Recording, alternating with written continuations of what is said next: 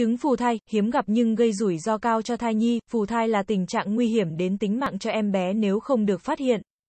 Tỷ lệ sống sót khi thai nhi bị phù cũng thường không cao, trong khi mang thai, có nhiều tình trạng sức khỏe của thiên thần nhỏ mà bạn cần phải chú ý.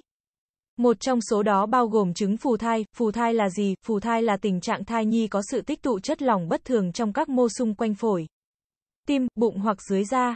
Nói cách khác, chứng phù thai xảy ra khi có nhiều chất lỏng rời khỏi dòng máu của em bé và đi vào các mô. Từ đó gây ra tình trạng sưng tấy, phù nề ở thai nhi hoặc trẻ sơ sinh. Mặc dù tình trạng này chỉ xảy ra với tỷ lệ 1 trên 1.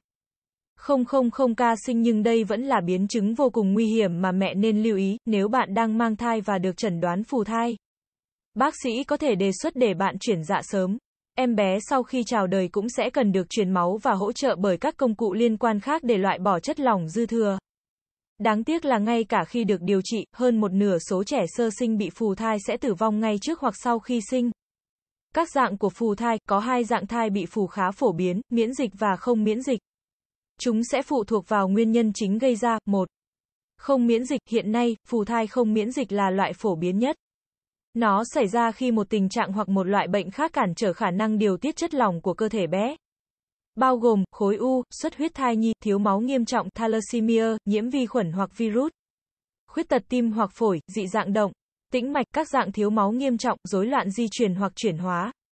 2. Miễn dịch, phù thai miễn dịch thường xảy ra khi nhóm máu của mẹ và thai nhi không tương thích với nhau. Điều này được gọi là không tương thích yếu tố AS. Hệ thống miễn dịch của người mẹ có thể tấn công và phá hủy các tế bào hồng cầu của em bé. Các trường hợp nghiêm trọng của tình trạng không tương thích yếu tố AS có thể dẫn đến thai nhi bị phù và là biến chứng nguy hiểm nhất của bệnh tan máu ở trẻ sơ sinh. Ngày nay, vấn đề này đã không còn phổ biến kể từ khi các chuyên gia phát minh ra AS Immunoglobulin program.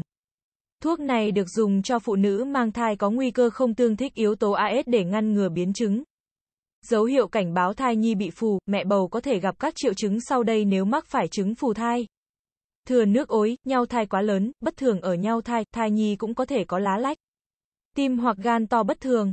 Thông qua phương pháp siêu âm, bác sĩ cũng sẽ phát hiện ra chất lỏng bao quanh tim hoặc phổi của bé. Một em bé chào đời với chứng phù thai từ trong bụng mẹ có thể xuất hiện những triệu chứng sau đây. Bầm tím, khó thở, da nhợt nhạt, vàng da nặng, gan và lá lách phì đại, sưng phù nặng. Đặc biệt là ở bụng, phương pháp y tế giúp chẩn đoán phù thai, quá trình chẩn đoán thường được thực hiện bằng siêu âm. Một bác sĩ có thể nhận thấy thai nhi mắc phải tình trạng này khi mẹ khám thai định kỳ. Biện pháp siêu âm sử dụng sóng âm thanh tần số cao sẽ giúp ghi lại hình ảnh thai nhi trực tiếp bên trong cơ thể mẹ. Bạn cũng có thể được yêu cầu siêu âm trong thai kỳ nếu phát hiện em bé ít di chuyển hoặc gặp phải các biến chứng thai kỳ khác. Chẳng hạn như huyết áp tăng cao. Những xét nghiệm chẩn đoán bên lề cũng có khả năng được thực hiện để giúp xác định mức độ nghiêm trọng hoặc nguyên nhân của tình trạng. Chúng bao gồm, lấy mẫu máu thai nhi, chọc ối, siêu âm tim thai nhằm tìm kiếm các bất thường ở bộ phận này. Phương pháp điều trị, tình trạng phù thai thường không thể được điều trị trong giai đoạn mang thai. Thỉnh thoảng bác sĩ có thể truyền máu cho em bé để tăng khả năng thai nhi sống sót cho đến lúc chào đời. Ngoài ra, trong hầu hết các trường hợp, phụ nữ mang thai có thể được bác sĩ đề nghị thực hiện biện pháp dục sinh nhằm nâng cao mức độ an toàn cho cả mẹ lẫn con.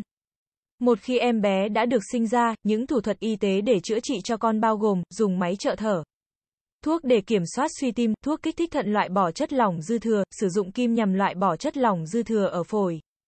Tim hoặc lồng ngực, mặc dù phù thai là biến chứng vô cùng nguy hiểm nhưng mẹ cũng đừng quá lo lắng vì tình trạng này rất hiếm gặp. Điều quan trọng là mẹ bầu nên khám thai định kỳ theo hướng dẫn của bác sĩ để sớm phát hiện các vấn đề xảy ra với thai nhi và nhận được giải pháp xử lý phù hợp từ bác sĩ. Nhấn đăng ký kênh để cập nhật những kiến thức hữu ích nhé. Hành trình bỉm sữa nuôi con khỏe dạy con ngoan.